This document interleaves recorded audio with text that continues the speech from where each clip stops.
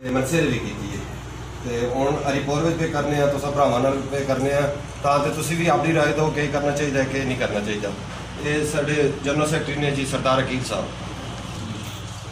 अज़बिल्लाशैतानरजीम बसमीम रसूल करीम अमाबाद मेरी तरफ से आए हुए तमाम ननबाई ब्रदर सिर्फ ये लोग एक ननबाई और उसकी पूरी टीम सुबह उठते हैं एसी डीसी उसके बच्चे, बीवी बच्चे जब उठते हैं तो वो उन लोगों के लिए नाश्ता तैयार करते हैं, खाना बनाते हैं। हम सुबह अजान के वक्त उठते हैं और रात को 11-12 बजे जाके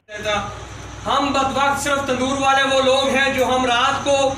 अपने बच्चों के लिए गैस और आटे और जो हमारे पास मुलाजिम काम करते हैं, उनकी तनख्वाहें लेके घर जाते हैं। ऐसा कोई इदारा, कोई महकमा, कोई मुलाजम, कोई ऐसा नहीं है जो इदारे के लोगों के या अपने डीलरों के या मिल मलकान के पैसे लेके जाए सिर्फ़ ये बर्बाद